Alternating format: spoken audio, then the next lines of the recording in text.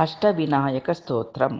स्वस्ति श्रीगणनायको गजमुखो मोरेश्वरः सिद्धिदो बल्लाकस्तु विनायकस्त्वत मडे चिन्तामनिस्थेवरे लेन्याद्रौ गिरिजात्मजः सुवरदो विघ्नेश्वरश्चोचरे ग्रामे राञ्जनसंस्थितो गणपतिः कुर्यात् सदा मङ्गलम्।